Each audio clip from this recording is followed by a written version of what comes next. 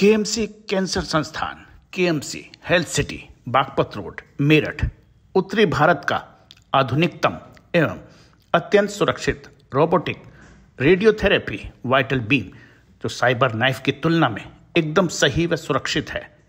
Rapid arc से सुसज्जित संस्थान 24 फोर इंटू सेवन, हर प्रकार के कैंसर के ऑपरेशन कीमोथेरेपी और प्रत्येक प्रकार की रेडियोथेरेपी व रेडियो सर्जरी उपलब्ध है। कैंसर को पहचानने के लिए आधुनिकतम पेट सीटी उचित शुल्क पर उपलब्ध है। प्रदेश के ऊर्जा राज्य मंत्री सोमेंद्र तोमर ने कहा है कि मोदी सरकार के नौ साल में विकास को तीव्र गति मिली है। मेरठ से दिल्ली का सफ़र अब मात्र 45 मिनट में पूरा हो जाता है। मेरठ दिल्ली आर का कार्य भी तेज़ी से पूर्ण होने की तरफ़ बढ़ रहा है। इसके पूरा होते ही मेरठ के विकास को भी गति मिल जाएगी। दरअसल ऊर्जा मंत्री सोमेंद्र तोमर आज मोदी सरकार की नौ साल की उपलब्धियों को जनता तक पहुँचाने के उद्देश्य से मीडिया से वार्ता कर रहे थे। इस मौके पर उनके साथ मेरठ भाजपा महानगर अध्यक्ष मुकेश सिंघल भी थे। देखिए। भारतीय जनता पार्टी सरकार के नौ साल पूरे होने पर मैं देश के यशस्वी प्रधानमंत्री जी का धन्यवाद करना चाहूँगा। हिंदुस्तान जो विश्व गुरु था आज हिंदुस्तान का मान सम्मान पूरे विश्व अंतर्राष्ट्रीय स्तर पर एक सर्वप्रिय नेता के रूप में माननीय मोदी जी की पहचान है।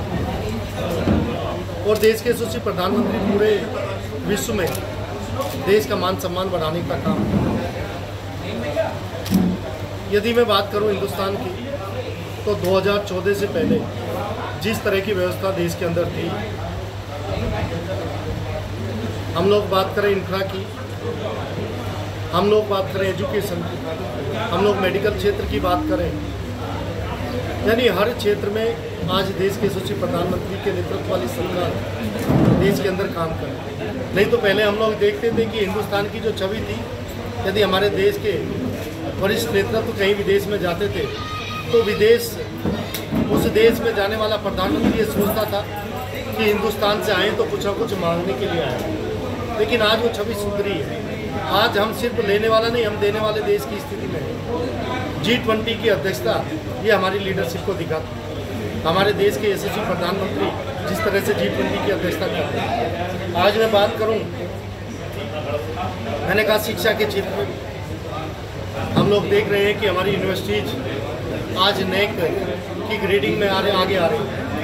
आज एनईपी के माध्यम से भी शिक्षा के क्षेत्र में हम लोग नई नई नीतियों के साथ शिक्षा की गुणवत्ता को आगे बढ़ाने के लिए काम यानी मैं कह सकता हूँ कि आज सामाजिक स्तर पर हम लोग देखें तो स्वास्थ्य के क्षेत्र हर क्षेत्र में हमारी सरकार काम कर रही है। जो छोटे हमारे व्यापारी होते थे, उनके लिए सरकार जो योजनाएँ लेकर आई है, आज देश के यशस्वी प्रधानमंत्री के नेतृत्व में हम लोग आर्थिक क्षेत्र में, सामरिक क्षेत्र में आज हमारी सेनाएँ यानी हम लोग अब वो देश की सेना नहीं है, जो युद्ध के क्षेत्र में पीछे हटते हैं। अब हमारी अंतर्राष्ट्रीय स्तर पर और जितनी हमारी देश की सीमाएँ हैं, उन सीमाओं पर भी आप देखेंगे कि पहले कभी हमें चाइना, कभी पाकिस्तान, इस तरह से जो आँख दिखाने का काम करते थे, आज देश अपनी सामरिक शक्ति के बल पर आज देश आगे बढ़ रहा आज मैं ये भी कह सकता हूँ कि हमारे नौजवान, यदि मैं हिंदुस्तान की बात करता हूँ तो विश्व का सबसे युवा राष्ट्र अपना हिंदुस्तान। युवा का एक, इस तरह का विदेश जाने का जो होता था सपना, आज वही सुविधाएँ। यानी हम लोग देखते हैं कि तैंतीस लाख पचास हज़ार करोड़ का निवेश सिर्फ़ यूपी के अंदर हुआ। यानी आज विश्वास पैदा हुआ है सरकार के आज कानून व्यवस्था सुरक्षा की स्थिति पैदा हुई। लोगों को लगा है कि आज प्रदेश और देश बदल रहा है। हम लोग चिकित्सा के क्षेत्र की बात करें हर ज़िले में एक मेडिकल कॉलेज बने। लगभग उनसठ मेडिकल कॉलेज पूरे प्रदेश के अंदर तैयार हुए और सोलह मेडिकल कॉलेजों पे हम लोग काम कर रहे हैं। यानी सरकार की योजना, चाहे हम लोग one nation one ration card की बात करें, वन ग्रीन वन नेशन की बात करें, आज पूरे देश एक व्यवस्था लागू हो, उसी तरह का प्रयास देश की सरकार के द्वारा किया था। कि देश के प्रधानमंत्री, एक प्रधान सेवक के रूप में, यानी हमारी सरकार सेवा, सुशासन और गरीब कल्याण। इन सब विषयों को लेकर हमारी सरकार आगे बढ़ रही है। और देश के प्रधानमंत्री माननीय मोदी जी, हमेशा भारतीय जनता पार्टी के कार्यकर्ताओं से तो यही निवेदन करते हैं कि हम लोग सेवाई संकल्प के साथ और सबका साथ, सबका विकास इस विश्वास के साथ और सबके प्रयास के साथ आगे बढ़े।